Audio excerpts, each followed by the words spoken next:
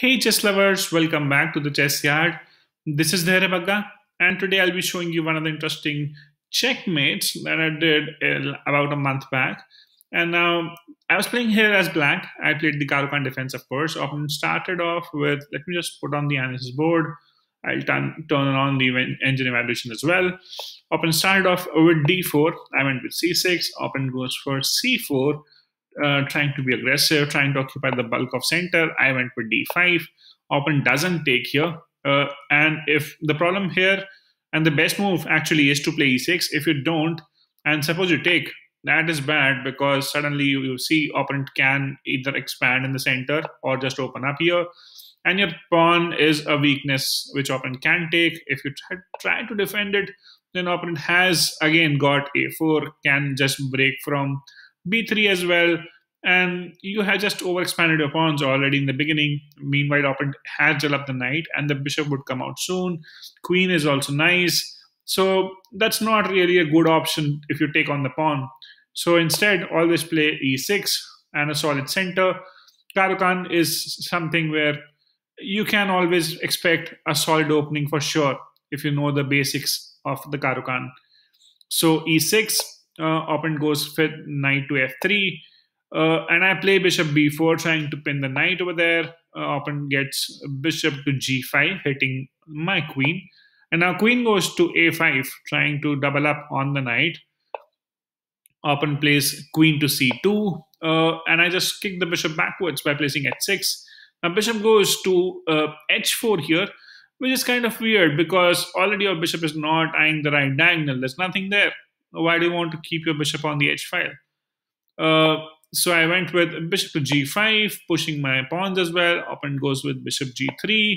I develop the knight onto f6. Um, I'm not sure that I will be castling, but I just want to develop here because already my pawns have expanded a bit much. And you don't want to castle when your king would not be safe by these pawns. Uh, so here opponent plays pawn to uh, e3 uh, and then I take on uh, the knight with the bishop. Opponent does take back with the queen, and we exchange of the queen as well. Uh, you might be thinking it would be a boring uh, game thereon because the queens have been traded off, but that's not the case at all. Opponent tries to save off the pawn with the rook, and I take on the bishop, trying to exchange everything. Now, what I have achieved is opponent has got two double pawns on C and G files. I take on one uh, because I wanted to make sure that uh, opponent doesn't take and spoil my pawn structure. And opponent find a good weakness in my structure by taking on G5 because now I can't capture because rook takes would be nasty. And I'll be losing a lot of stuff here. Opponent can then get the bishop to take another pawn, and suddenly I'm in a losing position. Uh, 7.2 in, uh, if you're just checking the engine evaluation. So I missed that part that my opponent can take with the knight. Uh, so I couldn't do much about it. So I thought I'll just push for b5 now, and defending the pawn at least. And then knight goes back, uh, and I play my knight to d7, trying to uh, get going with my knight. Opponent plays bishop e2, maybe preparing to castle. I went with bishop b7 so that the base of my pawn structure is at least safe, and I'm re re really looking forward to using this bishop better uh, eventually. Opponent goes for g4.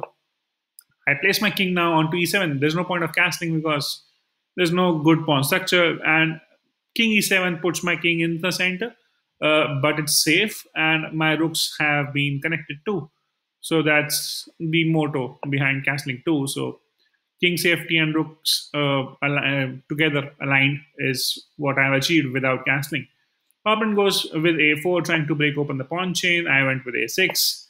Opponent pushes the pawn forward to a5 uh, because now, of course, I cannot capture it. It's a dark, it's on dark square, and I have a light square bishop. To capture it, I would have to go somewhere here and then eventually take on, but it's a long process. Pawns are there. Rook is going to defend it. So the pawn is kind of safe there, so that's what my opponent thought. I went with c5 immediately, trying to break open so that my knight gets active. Uh, and opponent plays rook to h5. Now again, trying to get the rook active. Doing a rook lift is always nice, but gives away the pawn. The opponent takes back with the pawn on uh, from c files. Uh, c takes on d4, and now uh, the opponent is eyeing the pawn uh, uh, chain, but doesn't help him. Um, it's not doing much. My knight is good uh, where it's controlling. I went with bishop to c6. Uh, opponent goes knight to e5, and we traded off the knights. Opponent takes back with the rook. Of course, he had done the rook lift. So why take with the pawn then and get double pawns uh, in the center? Uh, so I saw a free pawn hanging there. So I uh, took on g2. Opponent plays pawn forward, trying to trap my bishop there in the corner by placing on f3. I went ahead with h5, offering the pawn, which opponent denies, and now I move the bishop back onto h3. Opponent takes the pawn uh, with the rook so that rooks can be traded off, but that allows my bishop backwards. So I was happy. Uh, opponent places bishop, uh, sorry, pawn to e4, and now bishop comes to h7. Now the bishop is secure. All I have to do is trade off the rook and the bishops and push these vicious pawns for a victory. Open place king on to e3. Here comes rook on in the open file, always important to place a rook in the open files. Rook to g8, and now king comes up onto f4, and here I just went for the bishop. Opponent tries to get the king back to defend the bishop, and now I started moving my king to f6. Towards the center is always nice. Opponent plays f4, I just move my rook away, uh, just trying to hold on to the bishop and attacking the pawn as well. Opponent defense with the bishop on to g4 uh, so that the opponent can move the king. And now I sway over to the other side of the board, rook a2, hitting the pawn, which was kind of defended earlier, but not now. Uh, opponent plays pawn forward e5, giving me a check, but doesn't matter because I wanted to go back anyway. I was just trying to make sure that my opponent cannot do a pawn break here. Unless my opponent would have broken from here, that is the only way my opponent is ever going to queen if that's not happening, I'm in the winning position. So now rook comes on to d1, trying to push the pawn forward. I take on a free pawn, opponent pushes for the pawn, and I have to take because I don't want it to become a pain uh, later on once my opponent pushes the pawn forward, gives me a check. Yes, I can control it for the time being, but why to take risk? Opponent will eventually try to move the king, try to get the bishop, do some sacrifice, maybe push the other pawn too and I don't want myself in, in that situation. So I just wanted to kill that pawn straight away. I took on, opponent takes back, uh, and that's check from rook a3. And then I tried off exchanging the rooks because I will have three pawns here, which are pretty nice. And opponent does take here, which was strange because now I can take with the bishop. And I have three uh, pass pawns, which are free to go and promote. Opponent places uh, f5, trying to uh, give a check maybe next time or have a pawn break and then promote one of the pawns. I started off with a5, trying to push. Opponent places h6. Now, also, what my opponent did by placing f5 was cut off my bishop's diagonal. So my opponent is ready to queen uh, faster than me. So I went with king f8, trying to make sure that, that doesn't happen. Opponent goes king e3, trying to hit the bishop, but it doesn't matter because bishop is guarded with the pawn. And I kept on pushing a4 then. Opponent goes to d4, trying to make way uh, eventually uh, from here to stop my pawn. And I went with a3. King goes now to c3. And finally, a2 often goes towards the uh, pawn, but now comes bishop b1, which would always defend the pawn too. Opponent cannot do anything about it, but starts pushing the pawn onto e6 now. I push another pawn, c3, giving a check. Opponent goes back, and I take on the pawn. Opponent does take back and now I move my king to e7. Now the idea was that I can always take on once my opponent moves, so doesn't matter. Opponent goes bishop back to h3.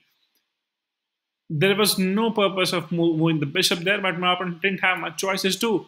The best move as per the computer is to give away the pawn so that I take and opponent can also take, but then I have two uh, against the lone pawn here as a majority, and I, it should be a good winning endgame eventually. Uh, so my opponent moved the bishop, and which allowed me to push pawns forward. I placed b4. Opponent goes back to the same spot, and now I push the b3. My opponent completely forgot that the pawns can checkmate too. And opponent does go back with bishop to d1, but it's too late because pawn to b2, a beautiful checkmate with pawns and bishop uh, in the corner.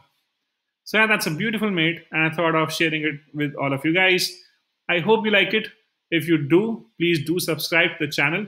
And I shall see you tomorrow with some interesting and instructive content at the same time, like always. I hope you like it. Please do like the video too. Thanks for your time. Take care. Bye bye.